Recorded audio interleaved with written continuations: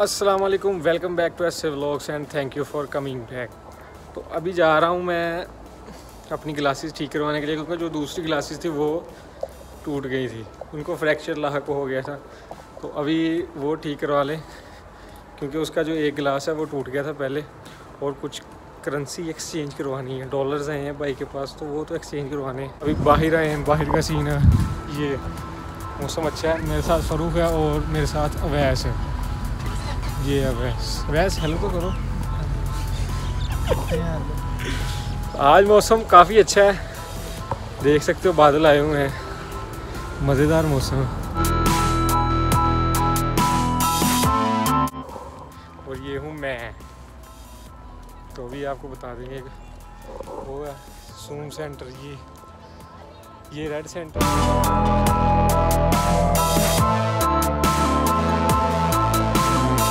Day में काफ़ी लोग देखो बाहर आते हैं। तो आज है अभी वैसे सैटरडे तो आज थोड़े बहुत हैं लोग इधर।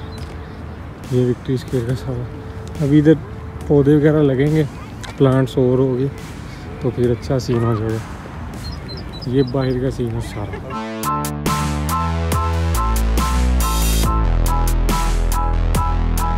एटीएम वर्किंग ही नहीं कर रहा तो फिर अभी बैंक से करवा लेते हैं।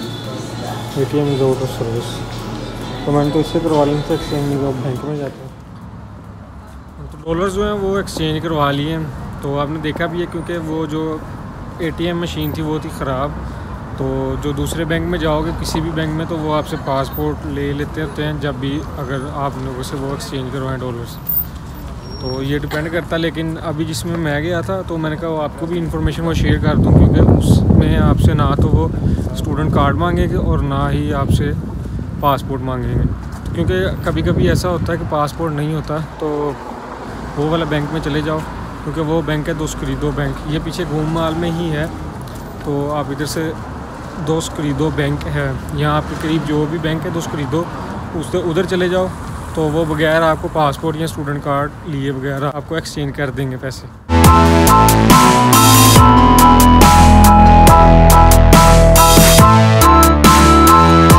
पीछे से पूछा था हमने घूम सेंटर से ही तो वो काफ़ी महँगा दे रहे थे। तो अभी सीधे से पूछ लेते हैं, वैसे तो अपने पास है, ये काम तो चल रहा है।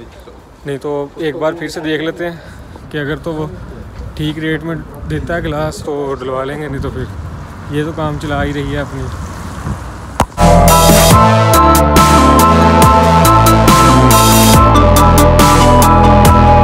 ग्लासेस वाली थी शॉप उससे पूछा था कि गिलास कितने का तो वो उससे भी महँगा बता रही है जो पहले था। अब देखते हैं कि गिलासेस लेते हैं या नहीं। तो न्यू ले लेंगे या एक गिलास उसका डलवा लेंगे। ये तो क्योंकि बहुत महँगा दे रही है। तो अभी पाकिस्तान से मंगवा लेंगे गिलास तो अच्छा ये खर्चा जो है वो कम से कम। हो तो अभी जाते हैं दोबारा घर।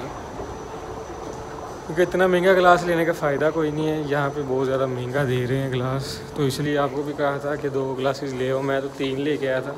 एक मेरे पास और भी स्पेयर पड़ी है। तो मुझे तो कोई इतनी नहीं है। मैं कहा वैसे पूछ लेते हैं? क्योंकि वो फ्रेम था, वो अच्छा था। इसलिए। तो अभी देखते हैं। जब तक ये चलती हैं, चलाते हैं। अगर इसको कोई डैमेज हुआ तो तब फिर लगवा लेंगे लेंथ उसका भी। तो तब काम चला लेंगे अभी तो वैसे ही ठीक है।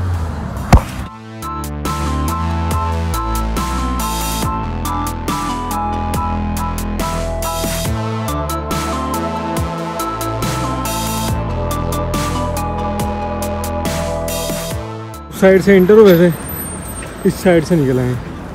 और वो है सामने सोम सेंटर, इधर से मोडम का पता करते हैं कि मोडम मिलता है या कितने का मिलता है। वो पिछला मोडम ख़राब है। तो उसमें इंटरनेट में बहुत सी प्रॉब्लम आ रही है। वो भी मॉडम का पता करते हैं, उधर पहुँच के कितने तक का मिलता है।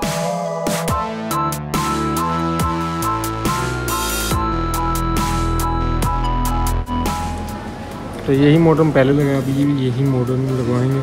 तेरह सौ पचास अभी पता लग गया सिर्फ़ रेट ही पूछना तो महीने के एंड में आके लेंगे, क्योंकि तब ही पैकेज चेंज होगा और तब ही ये मॉडम यूज़ होगी अभी चल रही है लेकिन कभी कभी थोड़ी थोड़ी दिक्कत आ रही है तो करेंगे इससे भी लेंगे। तो ये तेरह सौ पचास का थर्ड फ्लोर पे मिला हमें ये मॉडम तो मॉडम की सारी शॉप्स इधर में। जो सेंटर है इसके जो फ्लोर्स हैं हर फ्लोर पे डिफरेंट डिफरेंट आपको वैरायटीज़ मिलेगी क्योंकि फ़र्स्ट फ्लोर और ग्राउंड फ्लोर वो मोबाइल्स के लिए सेकंड फ्लोर जो कपड़ों के लिए और थर्ड फ्लोर ये बैग्स और जो क्लॉक्स वगैरह ये देखें। उसके लिए। तो हर फ्लोर पे आपको डिफरेंट कैटेगरीज़ की चीज़ें मिलेंगी। अभी क्योंकि फ़र्स्ट फ्लोर पे मैं नहीं गया हूँ, वो इसलिए क्योंकि अपने को मोबाइल तो लेना नहीं है मोबाइल है। तो किस दिन आपको मोबाइल की मार्केट का भी विज़िट करवाऊँगा पूरा।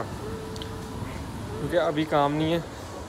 और आपको एक और बात बता दूँ कि जो आप लोग ओप्पो का मोबाइल लेके आते हो तो उसके साथ अपने प्रोटेक्टर ज़रूर ले गया हो तो अगर प्रोटेक्टर नहीं लाओगे तो इधर से नहीं मिलेगा, क्योंकि हम ओप्पो का प्रोटेक्टर ढूंढ रहे हैं तो वो नहीं मिलता। दो दिन आप प्रोटेक्टर ले आओ, दो दिन कवर ले आओ आपका चल जाएगा। क्योंकि प्रोटेक्टर अगर टूटता भी है तो फिर डलवा लोगे अगर तो ओप्पो का मोबाइल है, क्योंकि इधर नहीं है ओप्पो तो उसका प्रोटेक्टर भी नहीं मिलेगा।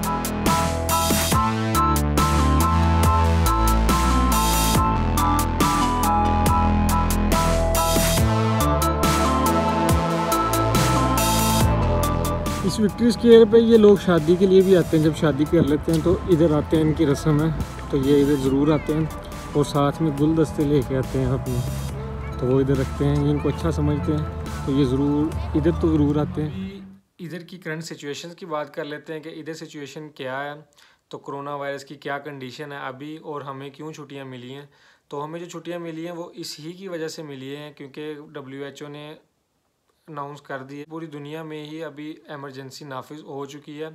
तो हमें भी इस कंट्री में यही उन्होंने कहा हुआ है कि कोरोना वायरस की ही वजह से हमें छुट्टियाँ मिली हुई हैं। सिर्फ़ 10 से 15 दिन की ये छुट्टियाँ अभी मिली हुई हैं, लेकिन जो न्यू वीज़ाज़ इशू है, वो भी डिले हो सकता है और क्योंकि अभी मेरे ख्याल से कि वो डिले हो जाएगा। क्योंकि अभी जो उन्होंने वो फ़्लाइट्स तो वो सारी बंद हो चुकी हैं। अभी या एक दो दिन में सभी फ़्लाइट्स बंद हो जाएँगी। जो पाकिस्तान में लड़के हैं तो वो वापस आ रहे हैं या तो या तो फिर इधर से भी पाकिस्तान के लिए जा रहे हैं। क्योंकि जो छुट्टियों के लिए गए हुए थे पाकिस्तान उनको सभी को डेडलाइन दे दी थी। यूनिवर्सिटी वालों ने नोटिस दे के, कि दो दिन में या तीन दिन में वो इधर आ जाएँ। उसके बाद जो भी फ़्लाइट्स हैं, उनके ऑपरेशन बंद हो जाएँगे, क्योंकि अभी मुझे जहाँ तक मालूम हुआ है तो फ़्लाई दुबई का ऑपरेशन अभी बंद हो चुका है, इधर बिश्केक में। उस भी उजबिक एयरलाइन है, या जो दूसरी है एयर अरेबिया तो सिर्फ़ वही अभी आ रही हैं, वो भी एक दो दिन में वो बंद कर देंगे। और तमाम बॉर्डर इस कंट्री के भी बंद कर दिए गए हैं, और जितनी भी पूरी दुनिया में कंट्रीज़ हैं तो उनके भी बॉर्डर्स बंद ही कर दिए जाएँगे, दस से पंद्रह दिन के। तो ये प्रिकॉशनरी मैयर है as a W H O ने ही अनाउंस किया है तो सब कंट्रीज़ जो हैं उसको अपना रही हैं तो हमारे भी कुछ प्रिकॉशनरी मैयर्स अपनाना बनता है हमें भी। तो उसके लिए हमें मास्क तो ज़रूर यूज़ करना चाहिए। अपने मास्क को हाथ ना लगाओ, जब भी आप पहनो अपना मास्क कुछ अपनी आइसोलेशन रखो। आप लोग गैदरिंग में ना जाओ इतना, क्योंकि हमें ये छुट्टियाँ इसीलिए मिली हैं कि हम लोग इतना गैदरिंग में ना पहुँचें। और ताकि हमें इस वायरस से अवेयर हो सके।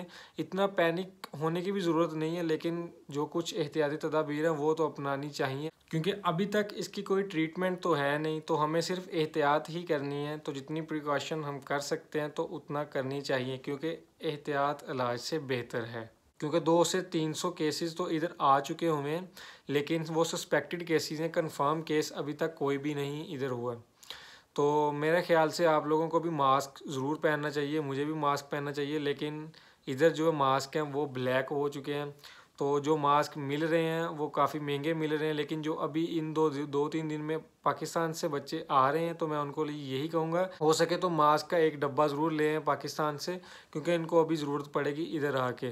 तो अभी दस पंद्रह दिन तक तो उन्होंने छुट्टियाँ दी हुई हैं तमाम एजुकेशनल इंस्टीट्यूट बंद हैं, स्कूल्स बंद हैं, प्राइवेट और गवर्नमेंट कॉलेजेस बंद हैं, प्राइवेट और मेडिकल यूनिवर्सिटीज़ भी बंद हैं। सभी इदारों को इन्होंने अभी बंद किया हुआ है, क्योंकि 10 से 15 दिन के लिए डेड लॉक दिया हुआ पूरा शहर बंद नहीं है, लेकिन जो इंस्टीट्यूशंस हैं वो बंद कर दिए गए हैं ताकि हम गैदरिंग से बच सकें।